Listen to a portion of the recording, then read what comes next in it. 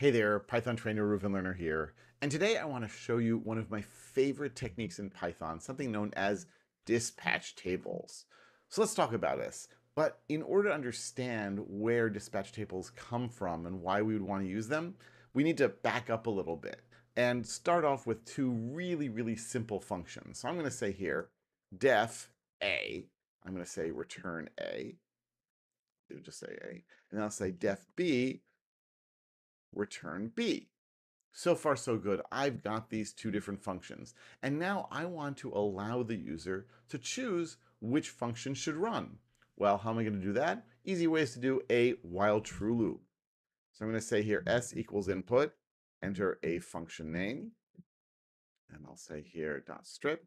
And I'll say if not s, then break. So basically, if we get an empty string, then get out of the loop. Otherwise, I'm going to say if s equals equals a, then print a. elif s equals equals b, print b. Else, we'll say print, we'll say here like s uh, is not a known function. So what's going to happen here? Well, we're going to get input from the user, and if it's not an empty string, we're going to check, is it A? Oh, it's A, great. We will run the A function and print its output oh, we get B, we're going to take the run the B function gets output. So I'm going to say here, oops, it would help if I actually ended the parentheses there. And so if I now say A, there we go, we got A. I say B, we get B. I say C, it says C is not a known function. I press enter and we're done. And this makes sense, right? Because I'm getting input from the user and I'm using that input to decide which function will run.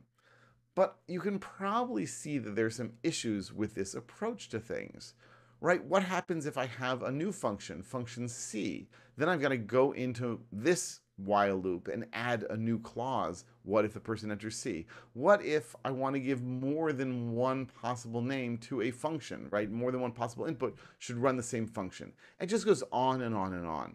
And so there's kind of a, a, disconnect here between the input that the user is going to enter to get a function to run and the function that we're running all that logic is inside of the while loop here, and that's not bad, but it could be better. So enter a dispatch table. And this is a, a fancy term for what we in Python would just call a dictionary. Well, it's not exactly just a dictionary. It's a dictionary in which strings are the keys. Okay, so far that's pretty usual. And functions are the values not the result of invoking a function, but rather the function, the function object. In Python, functions are first class objects. That means they are nouns, not just verbs. And so when I invoke a function, if I say a parentheses, that means I want to call the function. But if I just say a, that means I want the function object. I want the function that we defined without actually executing it. You could call it a reference to a function. And then later on, if we want to execute it, we can just add parentheses. So I'm going to say here, funcs equals a colon a and b colon b. This is a dictionary in which a and b, the strings are keys, and a and b, the functions are values. So if I want to, I could say funcs square brackets a. What is that going to give me? The function a. But it returns the function a. It does not actually run it. How can I run that function a? Well, I can use parentheses, of course, and now I get back a. So you can see that I can store these functions in the dictionary, and then I can retrieve one of the functions using a string. And I assume you now see where I'm going with this. I'm going to say now while true, and once again I'm going to say s equals input, enter a function name, strip, and then I'm going to say here once again, if not s, then break. And then comes the fun part. Now I can say if s in funcs, meaning if the user's input, let me just scroll up a little bit here, if the user's input string is a key in our funcs dict, then I'm going to say print of what?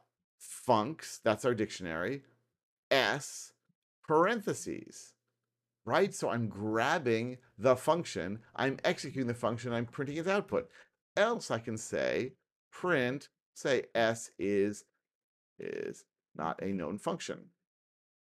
And this is so, once again, I didn't close the parentheses. What is with me today? And so if I say here A and B and C and enter, and it works exactly the same way. But my code is now shorter, cleaner, and it doesn't depend on modifying the while loop. All I have to do is modify my dictionary where we make that connection between the function names and the function bodies. And if I want to have more than one letter execute the same function, I can easily do that. I just add another key value pair to this. Now, there are some things missing from what we might want to do with a dispatch table. For example, what if our function takes one or more arguments? Then we'll need to pass those in. But for a simple, simple example of dispatch tables, it doesn't get much better than this. And the reason it's called a dispatch table is that we are deciding which function, what functionality we are going to dispatch based on a certain input. Um, and these do exist in other programming languages, but it's pretty rare for it to be as simple and I should say as widespread as this. So if you have a whole lot of if, elif, elif, elif, elif, else sorts of pieces of your code, and all you're doing is you're choosing which function you want to execute, or I should say, choosing which class you want to get an instance of, definitely look into a dispatch table. This is a fantastic technique that I really like, and I've heard from my students in the past that this is one of the most practical things they've learned from my courses. All right, I hope this was helpful and useful. Let me know what you think. Let me know if you've used dispatch tables. Don't forget to subscribe, and I'll be back soon with lots more videos about Python, pandas, and everything in between.